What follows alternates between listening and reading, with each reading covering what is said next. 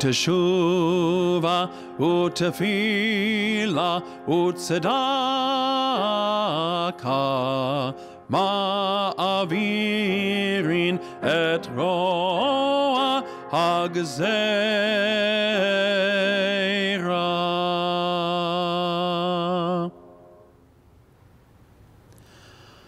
Shana tova. I am Cantor Sidney Ezer, and accompanying me on piano is my friend and colleague Asher Farber. These three tenets, tshuva, tefillah, utzdaka, have the power to transform our destiny. Tefillah, often translated as prayer, this noun also implies self-judgment. Moments of tefillah can bring insight and affirm primary religious commitments. Va'ani tefilati lecha Adonai et ratzon. May this be an auspicious time, Adonai, for my prayer.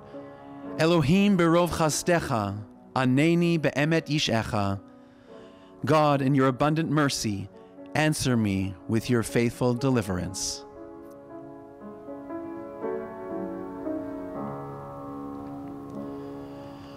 Vani tefilati lecha Adonai et ratzon. Vani tefilati lecha Adonai et ratzon Elohim berov chastecha aneini ve'emed yishecha Elohim berov chastecha aneini ve'emed yishecha.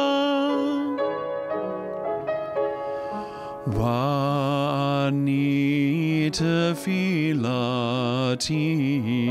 lecha Adonai et ratzon. Vani tefilati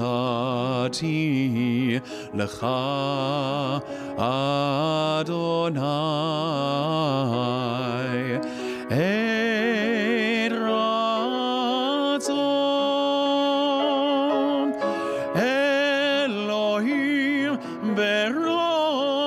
chasdecha aneini be'emet yishecha Elohim berov chasdecha aneini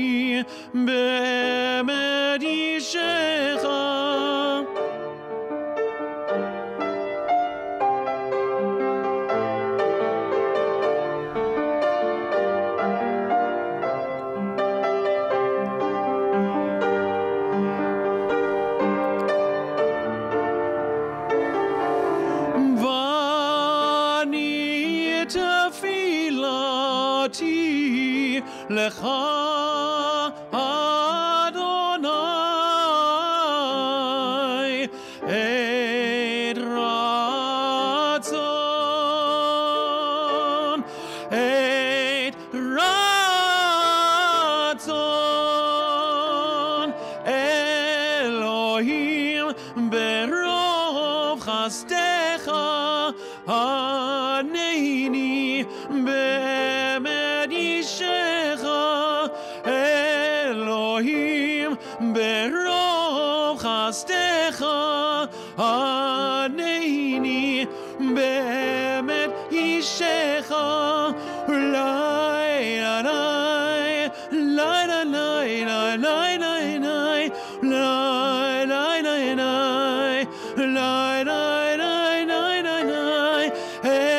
Elohim berov chastecha.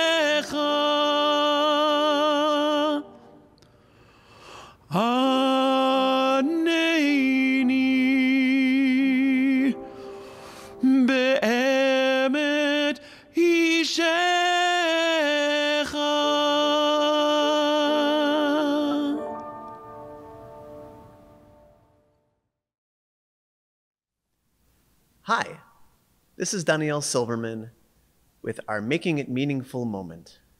Our tenant this week is tefillah. And I want to challenge you to think about what are the ways in which tefillah can play a role in your upcoming new year. Maybe it's going to be participating in tefillah in some way or another that might be familiar or new. Maybe it's taking on the challenge of learning a new tefillah. Perhaps you're going to want to explore the meaning of tefillot and have an understanding of what it uh, is that we are saying in our traditional prayers.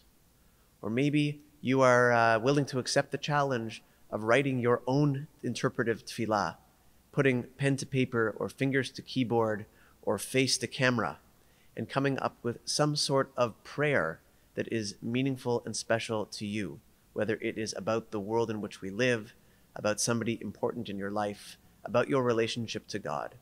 Whatever it may be, the process of tefillah, of exploring what it means to say and express thanks and wishes and wants, is something that will be very powerful for all of us this year.